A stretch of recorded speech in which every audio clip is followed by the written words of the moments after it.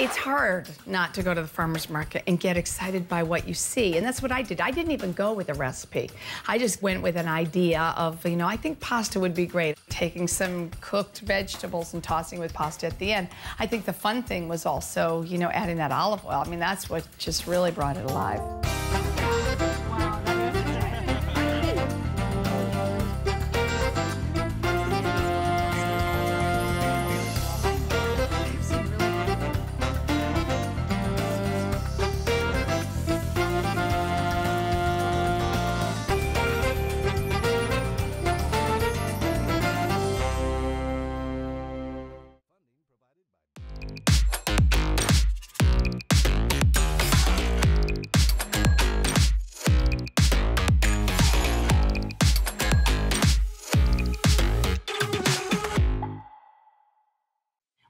About writing recipes or putting together a cooking class, I always think about what is in season.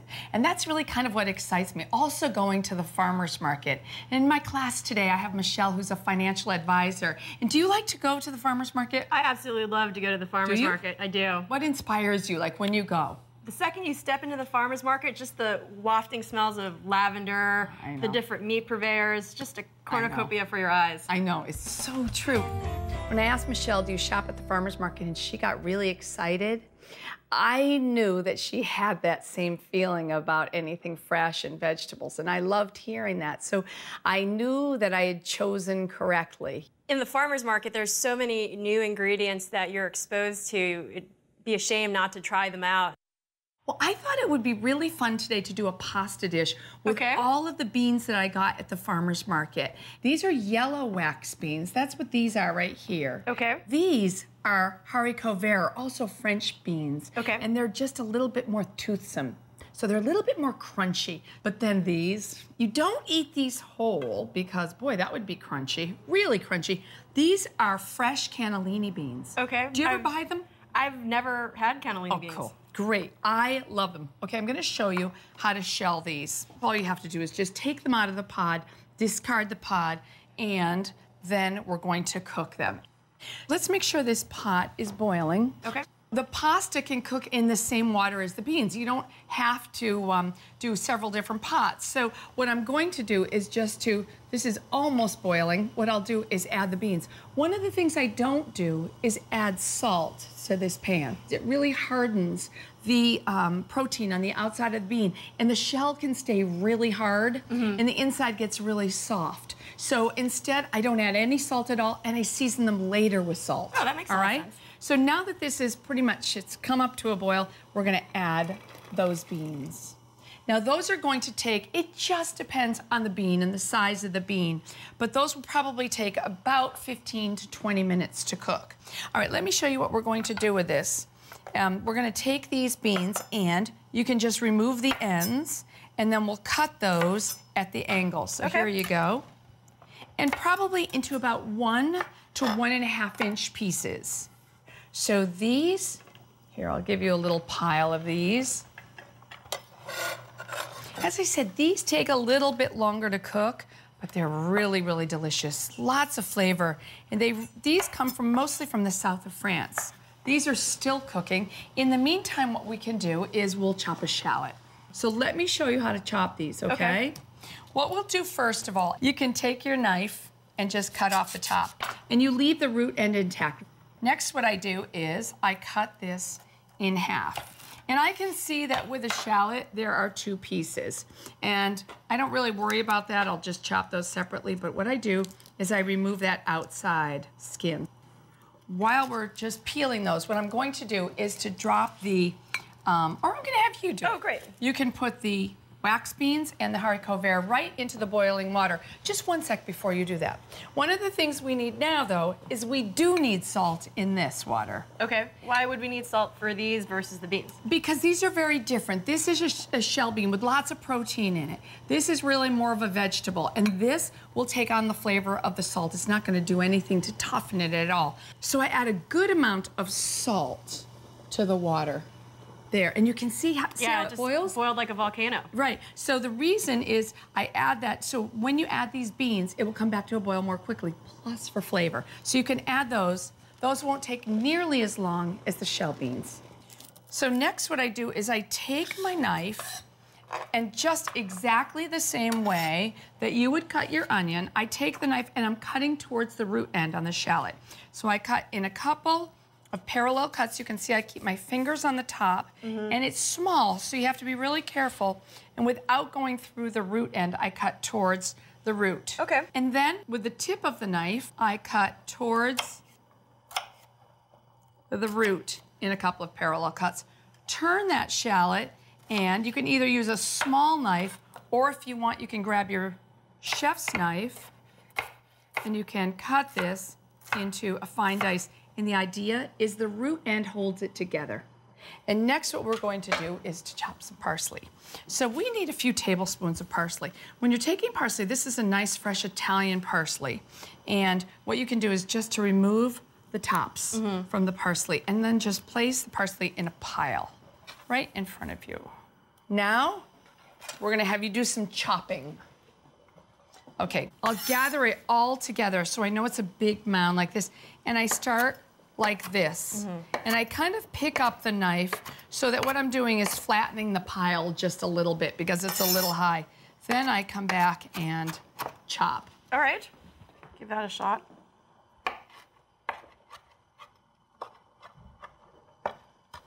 Now, just let's check these beans. I just don't want them to be overdone. Let's see once again. I'm gonna try. You try the yellow, I'll try the green. Okay. Mm. Perfect. They're absolutely perfect. They're perfect. really yummy. Aren't they? Mm-hmm. All right, here you go. Great. You can take those out. So how long was that about? Maybe. I would say with beans, and these take just a touch longer. I would say probably about five to seven minutes. Okay. That's that's quick. Now I'm gonna turn this down, put the cover on, and we'll save this to cook the pasta. So Michelle, place that parsley in this bowl. Okay. Next is oregano. Take the oregano and then pull in the opposite direction like that. Okay. And we need a few teaspoons of fresh oregano. Oh, I know what we could do. Let's chop this together. We could put, this is the savory, and this is really the focus of the dish. This is wonderful. It's just so aromatic.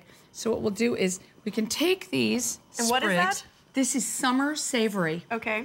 And it's there's a winter savory and a summer savory, but this one's much more tender than the winter savory. Control with a knife can't be a bad thing. No, it's true. And getting down good knife skills is great. You can add this to the bowl. Scoop up. This pastry scraper is wonderful for that. You don't have to use the blade of your knife. Good. Now what we'll do is to add some olive oil to this pan right here in the front. So you can add a couple tablespoons, Okay. maybe two or three tablespoons. So you're gonna tell me when to stop. I am. Okay. Perfect. That- That's okay. excellent. That's great. Now, you could absolutely, if you need to, grab a measuring spoon, but I find, you know, it's just as easy not to do that, and you can really figure out what two to three tablespoons. I can. I bet you these are done. Try them.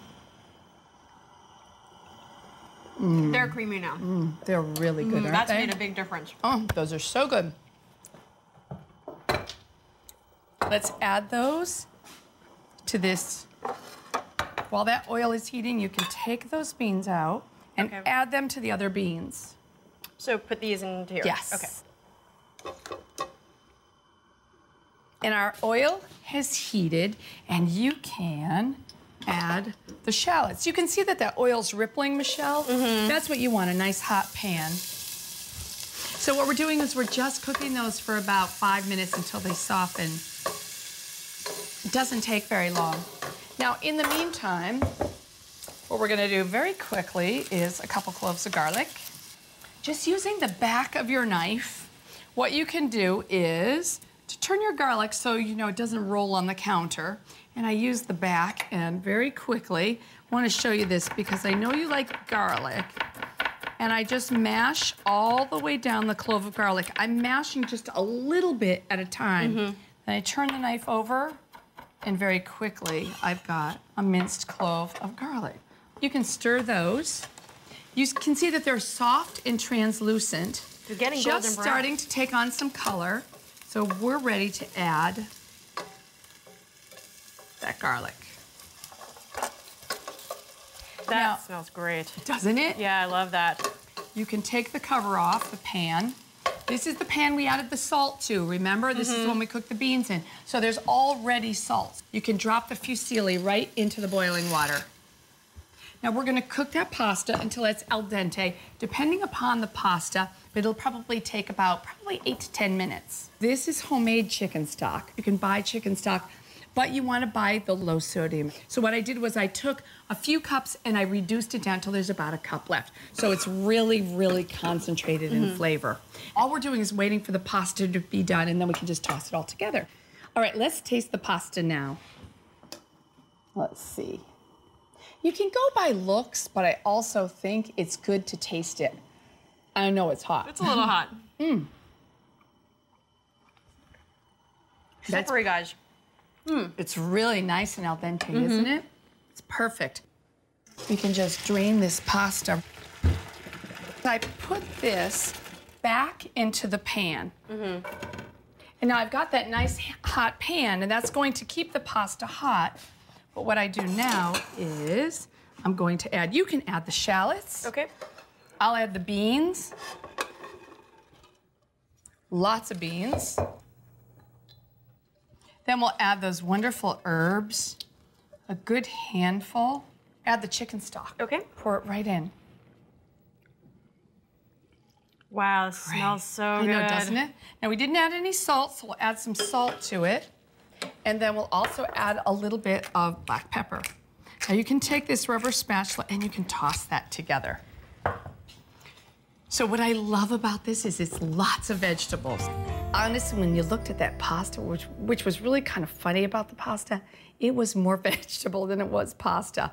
But for me, that's how I like to eat. I like a little bit of starch, a lot of vegetable. Mm, let's see how this is. Mm, it's so good. You can really taste those herbs. Mm, I taste the herbs, the oil with the shallots, that and of course the bean. That's great.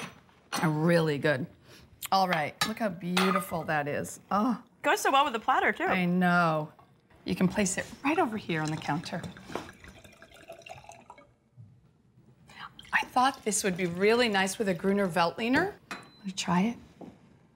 Mm, you ready to taste? I can't wait. We worked hard. We deserve this. I know, of course. Shopping at the farmer's market. Mmm.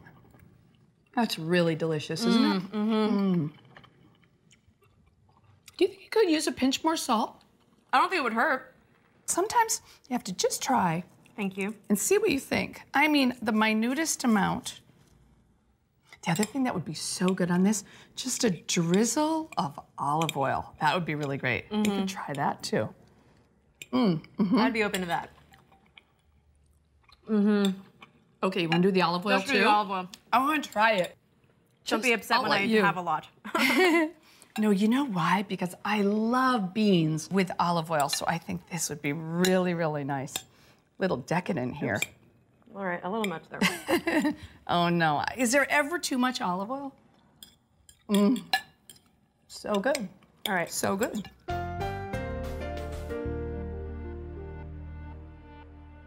Imagine making a sandwich with the most wonderful rustic bread, putting tomatoes and basil straight from the farmer's market.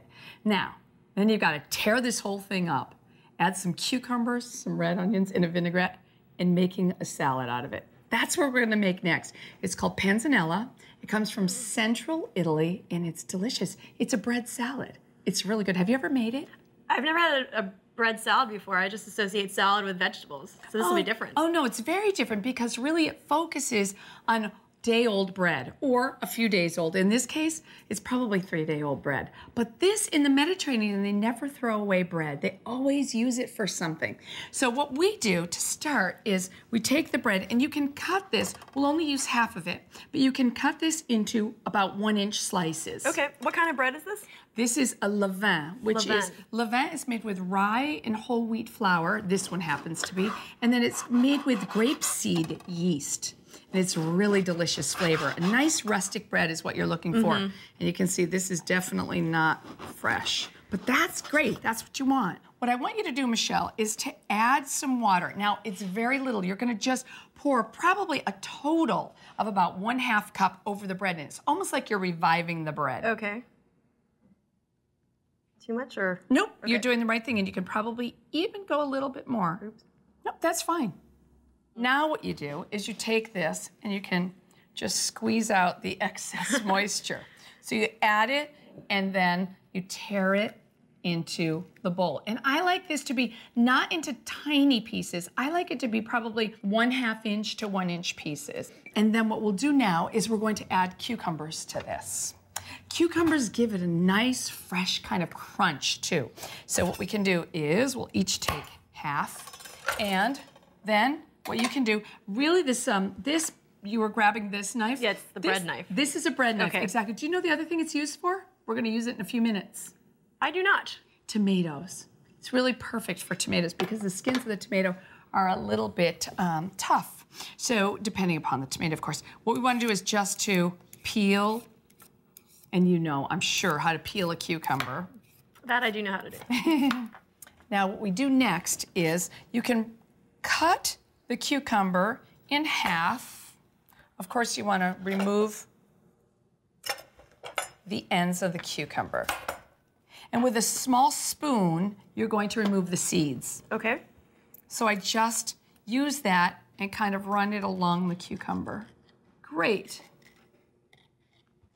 Now we want to cut these. Again, I will cut them the long way. And I like panzanella when the pieces are a little bit larger. I don't like it when the pieces are really small. So I would say probably about one half inch chunks. Then you can just throw those into the bowl with that bread. Okay, next, tomatoes. Tomatoes are really wonderful. They give a lot of juiciness and also flavor. And we've got some yellow tomatoes and some red. I was thinking maybe I like to use about five tomatoes, so maybe we'll use three of the red and two yellow. How's that sound? That sounds like a good good proportion there. I think it'll be great. Now, you grab your serrated knife this time. But first of all, wait a second. What we do need is to remove the core on those tomatoes. So what you can do is take a small knife first of all and just to cut all the way around the core. Okay. So next what you could do is just to cut this tomato into slices. And I like to have the pieces of tomato about the same size as the cucumbers. Okay. So the vegetables should be about the same size. And then cut it across into three pieces. You might not want to cut all of those. Do a few at a time. Okay. So I did thirds and then cut across. So it's a nice square chunk. You know, I think we had two tomatoes that were larger Okay. of the yellow tomatoes, so I think we're probably fine with four tomatoes. And next is a red onion. I think you'll find it's a little more of a challenge, a little bit. Here you go. Yes, excellent, good. So yes, that's the idea. You want all those vegetables to be about the same size. Okay, perfect. Michelle really did get better and better with her knife skills. She really did improve. It was kind of amazing to see that in just one class. And if sometimes you don't get those ends, you can just make sure that you break them up. Good. All right, so now you can add that to the salad. All right. We've got red, yellow, I know, aren't the colors gorgeous? They're really rainbow. beautiful. Now this is optional. Some people like to have garlic in a bread salad, some don't, but I know that you like garlic. and I do love too. garlic. So I think just a little bit is nice. Okay. You're using that blunt side of the knife to, all the way down to really mash your garlic. Good job. Okay. You can place that in the bowl. Good. Oops. Now, I would add a couple tablespoons of red wine vinegar. And traditionally, that is what's used, not balsamic. Balsamic's a little sweet. So I would say two to three tablespoons. We can always add more, remember. And then some nice fruity extra virgin olive oil. What we want to do is about double the amount of olive oil to vinegar. Okay. Good. We can always taste this and see how it is.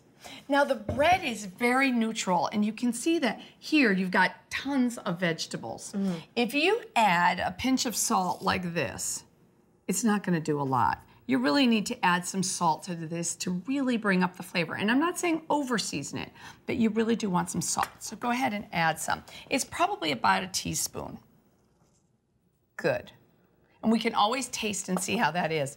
And then a little bit of fresh cracked, cracked black pepper. Good. And then you can whisk this together. Is this a classic vinaigrette then, or? It is pretty much. I mean, this one is a very standard one. Now, really, the best way to taste this, what do you think? Uh, with bread. Or with some of the vegetables or something like that to really see how that tastes. So we've got some bread at the bottom. Let's try it with the bread and maybe a tomato. Just dip that in and taste that and see how it is. Mmm, that's really good. Like it? Mm-hmm, mm-hmm. Okay, so next you get the fun part. Pour it over, and then we'll stir that together.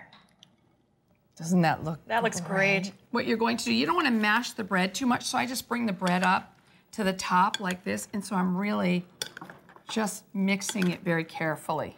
We have one more thing. I got a little carried away today with all the herbs in the market. I thought they were so beautiful. So I thought what we'd do is take a little bit of basil and add it. Not a little, we're gonna add a good amount. But you can pick some nice big leaves, and you wanna do this at the last minute. You don't wanna do this too early because that will wilt. Take your basil and just tear the leaves like this. It doesn't take much time, but you wanna tear it into small pieces, about that size. Okay. That's great.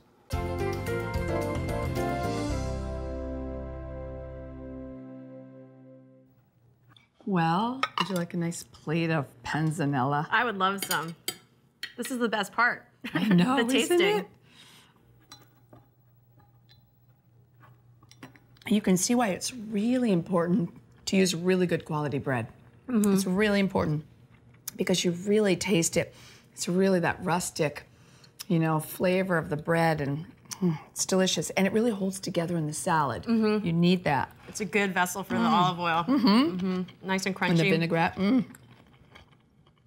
I can see why you wanted them in, in large chunks too. It's they're just easier nice. to eat. I just found some basil. You were a girl. great, great student. It was really very much. fun to cook with you.